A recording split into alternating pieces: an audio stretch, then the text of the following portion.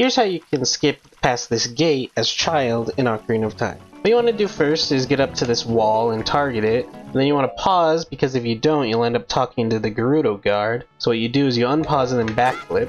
Then you turn around. And then you pause again, or else you'll talk, and roll forward. And now what you want to do is shield drop a bomb and roll, and then backflip. And then you just want to do a mega flip. You'll have to pause buffer though, because again, you have to roll, and if you don't pause buffer, you'll end up talking to the guard. And so on the first big blue, that's when you want to roll. So now buffer and a roll, and immediately start holding down. And one frame after this, you want to do the mega flip. Like that. Subscribe for more glitch tutorials and tips.